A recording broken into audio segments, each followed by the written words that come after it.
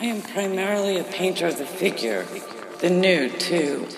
I started painting men, my boyfriends, because they would sit for me endlessly when we were all very young. Once we got into our 20s, had jobs and more responsibilities, I had to start using myself as a model. At first, I made a self portrait, one painting. That is now owned by a collector of later work who spotted this early piece last year and bought it. That was my first and so far last self portrait. From there, I used myself as a model, but I painted women who were not me. These women are individuals who exist only in a painting.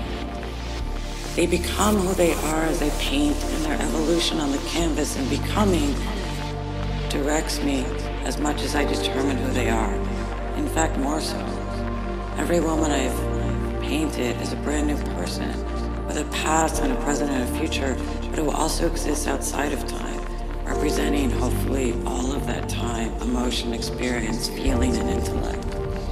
I also paint couples and nudes of both sexes. They too are individuals.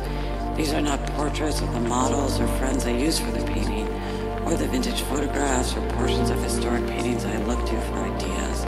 They're also brand new couples and men and women who came to be. I'm aware of being a female painting the figure. I love the body and love the physical, and it is important to me that my female and individual expression of this part of being human and the part of painting that my way of painting, both figuratively and abstractly, play a role in how we feel and see ourselves, others, and this part of experience in space and time.